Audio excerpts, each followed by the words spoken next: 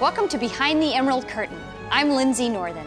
Come with me to explore the scenic design of Wicked. We'll find out how an idea in the designer's head can end up on stages all around the world. Eugene Lee basically created this world that the show now lives in, and he came in with a model. We made a really big half-inch scale model. It was like that big, that big. We printed the map and had a silkscreen made of the map.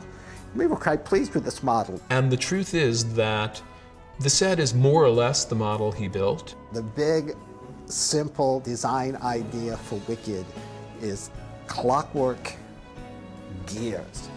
That seems kind of silly, but it's kind of true. I remember that my picture of the show, I guess, was kind of much more high tech. When Eugene brought that set in, it was completely different than what I thought the show was going to look like. When we were working on it, we took a clock and we tossed it down the steps and busted it all open and took all the gears out of the clock and, and super glued them into the model. This is what designers have to do. It instantly felt right.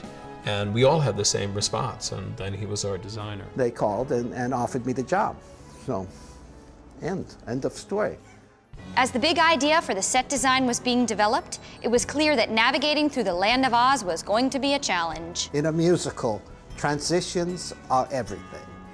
I mean, you can always make it look like anything. The look is not as important as the transitions. If you can figure out the transitions, the look takes care of itself eventually. I mean, that's really, I know that's true. How you get from one scene to the other is art, and, and if you fail at it, then the, the larger project fails. And so it's definitely been our belief that that has to be carried through. Every transition feels like it was intentional, and I think that allows you as an audience member to relax and enjoy the story because you know that you're being taken through it in a methodical and safe and, and um, an artistic way um, instead of sort of, oh, here comes the scenery and, you know, hold on to your chair, Mildred. You know, it's like, it, it all just sort of happens beautifully. It's been a huge part of our development as, as artists to figure out how to make all of that ballet of, of motors and, and humans pulling ropes and um, stagehands pushing scenery really all come to a, a close right when it wants to.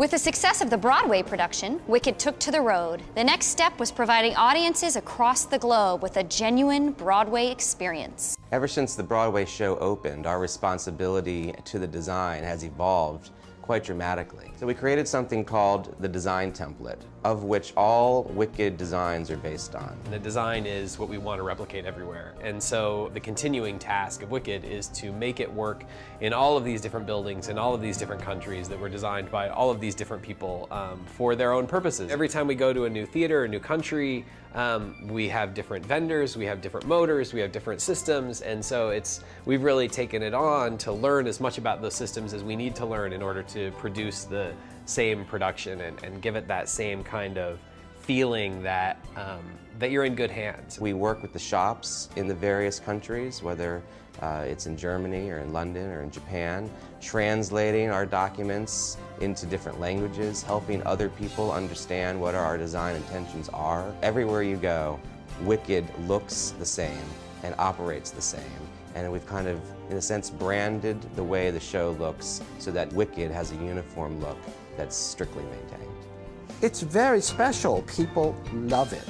And it has a message that seems to resonate. Wicked is in the best of hands.